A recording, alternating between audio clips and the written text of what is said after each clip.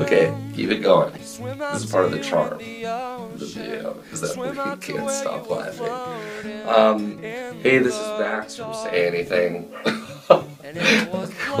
no, continue. Not stop. Um, we, uh, we're making this video to let you know that we're that we're about to begin our tour on June 6th in Dallas.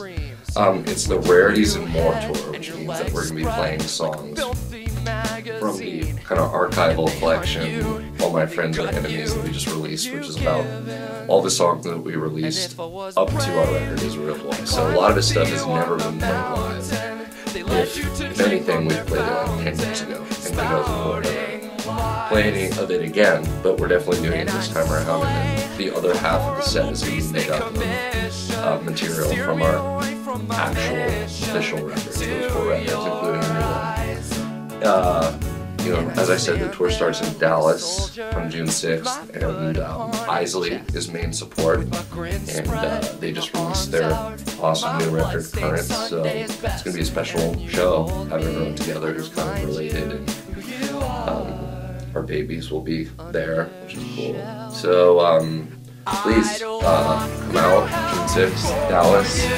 Uh,